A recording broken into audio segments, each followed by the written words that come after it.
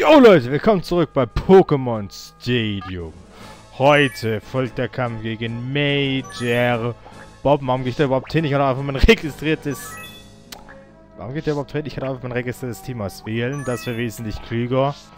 Und ja, wir werden hier natürlich erneut mit den unterschiedlichen Trainerklassen vertraut werden, die Major Bob unterstützt. Hier haben wir zunächst einen Matrosen, der überwiegend Wasser-Pokémon einsetzt, auch in den Spielen. Ähm, hier hat er, haben sie nun die Funktion natürlich, ähm, ja, alle Trainerklassen auszufüllen. Denn ihr werdet merken, es kommt keine Trainerklasse zweimal vor. Ähm, jeder Arenaleiter hat praktisch unterschiedliche Trainerklassen. Drei für jeden. So ist es in etwa angelegt. Naja, kommen manchmal auch merkwürdige Verbindungen zustande von Trainern, die es so in den Arenen im Spiel gar nicht gab. Aber gut. Ähm, natürlich, gegen Wasser-Pokémon nutze ich ein Zapdos am ehesten. Was ich, was, ich, was ich natürlich gerne Regentanz geben würde. Das wäre wirklich eine Attacke, die ähm, perfekt wäre, um Lichtschild abzulösen. Regentanz könnte ich wunderbar einsetzen. Aber das dauert noch etwas. Ich weiß ja nicht, ob ich schon die Pläne mehr oder weniger gesagt habe. Aber wenn ich mit der Arena-Burg... Oh. Ups. Aber ja, wenn ich, wenn ich mit der Arena-Burg durch bin, dann... Autsch. Werde ich mir selbst... Werde ich selbst äh, nochmal durchzocken, um mir ein richtig starkes Team zu machen. Das wird dann etwas dauern. Ähm, natürlich, aber ich habe ja Zeit. Ich finde es nur lustig, äh, wenn mir das jetzt Leute schon rummollen und sagen, ja Mann, nee, Typ ist voll lame, es gibt drei Legendäre. Oh mein Goodness, es gibt drei Legendäre. Ist ja nicht so, als wäre Simsa da nicht sowieso schon viel besser als Zapdos oder Lavados jemals waren. Meine gut, Zapdos ist heutzutage schon eine relativ große Nummer, aber Lavados. Wer zum Teufel benutzt Lavados? Ja, äh, sorry, aber es ist so. Ich meine, Lavados hatte, hatte Vierfachschwäche. Und in dieser Jeans sind einfach Simpson-Gegner viel bessere Pokémon als Zapdos oder Lavados. Warum wird da rumgeheult? Nur weil sie legendär sind. Da denken wir, Kinder begreift es. Der legendäre Status hat überhaupt nichts auszusagen. Die Statuswerte sind vielleicht etwas höher, aber längst, längst nicht so, äh, ja, dass es einen Unterschied macht. Erstens sind sie nicht unbedingt gut gebalanced für das Pokémon. Zweitens, es ist nicht automatisch gute Attacken. Drittens hat es nicht automatisch eine gute Typkombination. All das ist überhaupt nicht gegeben. Natürlich, Zapdos ist ein exzellentes Pokémon, das hätte ich jetzt nicht dabei. Und Lauer ist eine gute Option als Feuer-Pokémon im Vergleich zu anderen. Aber trotzdem, Leute. Das ist doch... Ah, da kriege ich einfach mal Facepalm, sorry. Ähm, aber... Ist eigentlich auch egal. Ähm, legen wir es erstmal mit dem nächsten Rennklasse den Rocker. Der war tatsächlich auch in der Arena vertreten. Es ist die Frage, welches Pokémon setze ich hier am effektivsten ein? Yogi wäre eine ganz gute Option. Ähm, ich muss halt aufpassen, denn die Vögel, die ich habe, sind natürlich anfällig gegen Elektro, genauso wie Aquatic. Na gut, das wäre egal, aber das kann nichts dagegen ausrichten. Gengar zum Beispiel könnte auch nicht mehr machen als Donnerblitz. Gut, Psychokinese könnte Gengar einsetzen, aber ja. Ich habe mich jetzt einfach mal für Sazinia entschieden. Natürlich Bodenattacken, wenn ihr Godlike, aber ihr wisst, ich habe Erdbeben keine meiner Pokémon beigebracht in meinem privaten Spielstand. Und Elektroball wird garantiert zuerst gehen. Ich kann einfach nur hoffen, dass dieser Donner daneben geht. Wie es es bei mir auch schon öfters getan hat. Autsch. Hauptsache, Okay, ich wollte gerade sagen, Hauptsache ich werde nicht paralysiert, aber das... Der Vorteil bei diesem Spiel ist ja, dass es im gleichen Zug, ähm, man das im gleichen Zug sieht, wie man auch getroffen wird. So ist die Animation auch viel schneller abgelaufen. Aber ja, ihr habt gemerkt, Donner ist nicht wirklich schlimm. Was natürlich daran liegt, dass Sazin eine Resistenz dagegen hat. Okay, der Volltreffer war jetzt doch etwas ärgerlich. Aber wie gesagt, liegt eben auch daran, dass das hier eine Resistenz dagegen hat, was nicht bei allen Pokémon vorkommt. Äh, Quatsch, was laber ich? was das einzige Pokémon im Team ist, was diese Resistenz hat, das wollte ich eigentlich sagen. Okay, gut. Elektroball ist jedenfalls weg vom Fenster. Und wir betrachten das nächste Pokémon, das kommt. Electek! Äh. Ja, hi, mein Buddy. Gucken wir mal, was wir für dich haben. Äh, nimm einfach mal noch einen Ras... Okay. Sivelle ist zum Glück nicht so stark. Macht ähm, eine feste Anzahl von Schaden, was dem Level abhängig ist. Ich habe mich nicht wirklich, wirklich mit Psywelle beschäftigt, weil es eine sehr schwache Attacke ist. Aber komischweise auch von Sabrina gekriegt, weil man die stärkste Psy-Attacke, nämlich Psychokinese, nicht von ihr bekommen hat. Aber ja, das mache ich mal mega sauger. Ich weiß nicht, ob es ausreichen wird, aber zumindest werde ich so ein bisschen was zurückkriegen. Psywelle ist... Hm, nicht wirklich, ja. Oder liegt es an den KP? Wie gesagt, ich habe mich nicht wirklich mit Psywelle beschäftigt. Ist für mich ein, ein so eine Rätselattacke, die ich nie wirklich für voll genommen habe. So, wir haben ein bisschen was zurück, aber gelohnt hat sich das leider nicht. Es ist eben kein Gigasaug aus der fünften Gene. Megasaug hat doch 40 Stärke, Gigasaug aus Gene 5 hat fast doppelt so viel mit 75. Da ist man ein bisschen andere Standards gewohnt. Nach muss jetzt wieder reinkommen. Und ja, jetzt hat es nicht mehr ausgehalten und ist down gegangen. Hat aber einen guten Job gemacht, muss ich sagen. Und ihr merkt, ich versuche, ähm, mit Absicht Mewtwo, solange es geht, zurückzuhalten. Das ist wieder kommen und. Äh, viel zu stark, Mann. Ich meine, es ist ja nicht so, als wäre es was Schlimmes, alles zu tun, alle Möglichkeiten auszuschöpfen, die das Spiel einem gibt, um zu gewinnen, aber okay. Der Nachteil bei Gengar ist halt, dass Psychokinese keine Stab-Attacke ist, aber das reicht für dieses Electric auf jeden Fall. Und ich denke, beim nächsten werde ich die Kombination Hypnose-Traumfresser ausprobieren. Traumfresser ist stärker als, ähm, Dings. Oh, Magnetilo. Ja, Traumfresser ist stärker als Psychokinese, 10 stärker. Gib mir ja zu dem KP zurück. Gut, ich habe jetzt keine KP verloren, aber trotzdem. Probieren wir das einfach mal. Und ja, bei Magnetilo brauche ich noch keine Angst haben. Es war ja noch Elektro zu der Zeit, kein Stahl. Also das kriegen wir hin. Gut, der ratzt. Wunderbar. Ja, nee. Fühle ich cool. Okay, nochmal. Hypnose. Oh Mann, da könnte man... Ah, okay, egal. Schlaf. Och nee. Jetzt nicht im Ernst. Ah. Ja, und der trifft. Ich meine, gut, es hat 10% mehr Treffchance. Aber trotzdem. Mann, Mann, Mann. Also nochmal. Und diesmal schlaf bitte so, dass es man es ernst nehmen kann, weil das war gerade ein Joke. Das war echt ein Joke, musste zugeben. Alter. Nicht dein Ernst. Wie kannst du... Also wenn der jetzt nochmal trifft, ist es Betrug. Genau deswegen. Genau deswegen. Leute heulen immer rum bei diesem Spiel, aber sie sehen nicht ein, dass das Spiel Betrug ist. Ja, tch. Ich habe jetzt Sonne mit Hypnose verfehlt. Einmal ist er sofort aufgewacht und er trifft mich einfach eiskalt zweimal mit Donner. Ja, und schon wieder daneben. Natürlich. Damals gab es übrigens noch keine Fähigkeit oder sonst was. Mal schauen, ob ich jetzt owned. Wow! Ich glaub's nicht. Die Attacke ging daneben. Unglaublich. Aber jetzt ist es genug mit dem Scheiß. Jetzt schläfst du und du bleibst schlafen. Weil sonst fühle ich mich verarscht.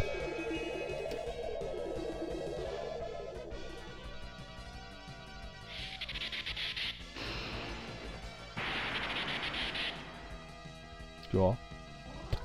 Schon fair das Spiel, ne? Also... Wer jetzt noch labert, ich hab's euch jetzt gezeigt. Wenn er jetzt nicht glaubt, dass äh, ein Team, das noch nicht mehr maximierte EVs hat, keinster Art und Weise overpowered ist gegen diese Horde von Betrügern, dann weiß ich auch nicht. Deshalb piss dich, du dreckiges, dummes Scheiß Magnetilo. Ja, nee. Jetzt wird es sich noch mehr Zeit zum cool fühlen. Ja, ist klar. Wetten, er trifft. Ja, selbstverständlich trifft er. Wie kann man es auch anders erwarten? Das ist immer größere Betrug. Wirklich, ich, ich glaube nicht, dieses Spiel ist Betrug. Größerer Betrug als die Kampfzone es jemals war.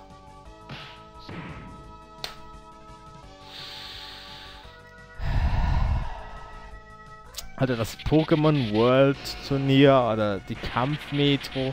Es ist egal was. Denkt euch alles aus. Ihr werdet nichts finden, was genau so ein großer Betrug ist wie das hier. Deswegen war es mir klar, deswegen werde ich auch in Zukunft darauf scheißen. Und wenn Mewtwo wichtig ist, werde ich Mewtwo auch einsetzen. Weil ihr merkt, der Betrug... Also, ja, ich, ich, erinnere mich wieder dran. Ich, ich habe mich das aber diesen dummen, schwätzigen Kommentaren beeinflussen lassen. Aber, ja, ihr seht, ihr seht's. Ihr seht's. Ähm, das ist lame. Und jetzt, wehe. Wehe. Wehe, du schlägst dich jetzt selbst.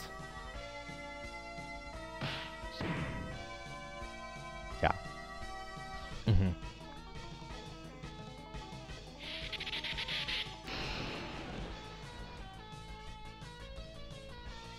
Stirb. Stirb. Stirb. Stirb. Stirb. Sag mal. Ach so, da greift mal an. Wow. Applaus. Standing Ovations, my friend. Du hast angegriffen. Unglaublich. Also, wie gesagt, ähm, ihr seht es. In Zukunft werde ich nie wieder versuchen, es mir mit Absicht schwieriger zu machen. Wenn ich das nicht sowas will, ich hole einfach ich werde Mewtwo rausholen und das machen, was sie machen muss, um hier zu gewinnen, weil ihr seht, ansonsten, wenn man dem Spiel eine Möglichkeit lässt, ist der Betrug auf so einem maximalen Level, das ist einfach nicht zu fassen. Das Beste, ich sag's immer wieder, probiert es mal mit Hornbohrer. Nehmt Hornbohrer, greift 100 Mal an, lasst jeder 100 Mal angreifen, das ist die verlässlichste Statistik. Ihr werdet nicht mal 10 Mal getroffen, andere jeder bestimmt die 80 Mal. Es ist, ich, ich, ich mach keine Witze, es ist genau so lame. Ohne Witz. So, ähm... Das sieht so am besten aus. Und ja, ich starte Video, weil es die beste Möglichkeit ist. Ratet mal, Leute, weil ich keine Lust habe, in einen Endlosstreifen von Betrug zu geraten. Ähm, wie es in anderen Cups aussieht, da gibt es ja bestimmte Limitationen. Wenn es keine Limitationen wie hier gibt, dann werde ich diese auch nutzen. Falls es jedoch welche gibt, kommt ja späteren Cups auch mal vor. Ähm, zum Beispiel im Pika Cup oder Mini Cup kann ich natürlich kein Mewtwo mitnehmen, werde ich dann natürlich andere Pokémon einsetzen, das ist ganz klar. Aber da ist dann noch rausgeht, dass man es anders schaffen kann, weil ich meine, hier, hier rechnet man ja damit, dass man die größtmögliche Chance nimmt. Aber ja. So, ein süßes Vulcano.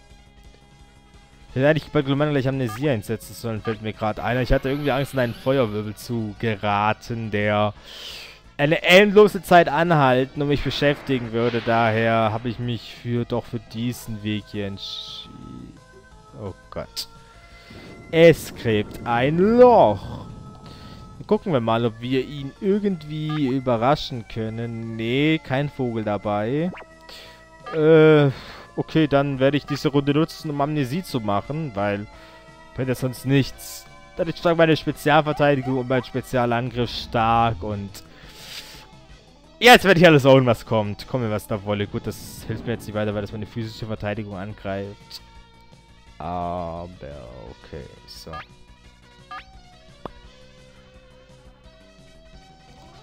Der Kreis war übrigens, äh, gut, Gentleman heißt er hier. War, glaube auch ein Major Bobs seine Arena, aber ich weiß nicht. Also vor allem haben sie sich hier im Ausrennen in der Umgebung von Orania City bedient von der MSN. In der MSN gab es eine Mega Matrosen und Gentleman, deswegen waren die auch hier in dieser Arena vertreten. Ansonsten der Rocker war definitiv in der Arena. Wie gesagt, beim Gentleman bin ich mir nicht mehr sicher. Und beim Matrosen, aber ich glaube, die beiden auch. Also es waren ja drei in der Arena. Aber egal. So, das ist auf jeden Fall weg, weil... Komm, das war Psycho gegen Gift mit Amnesie. Tschüss. Und wir haben es geschafft und können uns zum Major Bob stellen.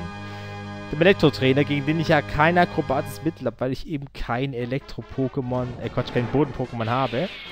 Mit dem ich ihm irgendwie, ähm, ja, gefährlich werden könnte.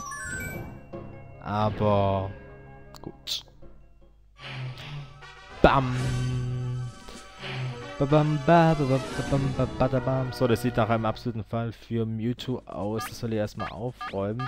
Ansonsten machen wir das... Ja, wobei... Nee, Neuauswahl. Machen wir das...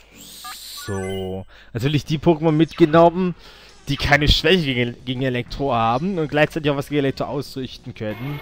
Also Mewtwo, äh, Sarzinia und ähm, Gengar. Okay. Erstmal starte ich jetzt allerdings wieder eine Amnesie. Ich denke, dann kann ich hier auch relativ gut durchsweepen. Auch Magnetilo hat nichts Asoziales, was, ähm, beziehungsweise Magneton. Okay, mit dem Reflektor kann ich hervorragend leben, du.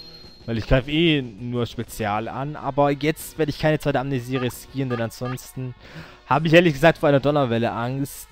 Die möchte ich dann doch vermeiden. Kamehameha! Boah! Und das war's mit Magneton. Wild umher, fuchtelt es und stirbt zugleich. So, nächstes Pokémon ist ein Magnetilo. Jetzt, wenn ich Magneton erledigen kann, wird das Magnetilo, glaube kein großes Problem sein. Wie gesagt, es gab noch keinen Stahltyp. Daher brauche ich mir da auch keine großen Sorgen machen. Auf Wiedersehen. Bam. Und weg ist es. Ja, macht's nicht ganz so melodramatisch, Magnetilo, bitte. Und letztes Pokémon ist Raichu. Okay, Raichu ist relativ schnell. Also, natürlich nicht so vielleicht zu Mewtwo oder Simsala oder wie sie leisten, aber doch nicht so langsam. Äh, auch nicht so schwach wie jetzt andere Pokémon, aber trotzdem bleibt es ein kleiner Fisch und wenn es getroffen wird, sollte das eigentlich auch der Tod bedeuten, ja. Also, tschüss, Raichu. Und damit wäre Major Bob besiegt. Yay! Und er wieder mit, seinen, mit seiner epischen Siegerpose Major Bob geolt. Und Orania City wäre geschafft. Und ich hoffe, jetzt wissen auch alle, weshalb ich sage, nutzt die Möglichkeit, die ihr habt zu gewinnen. Ansonsten wird das Spiel euch heimtückisch aussuchen und euch betrügen. So, wir haben den Schlüssel zu Erikas Turm erhalten. Und seht ihr das?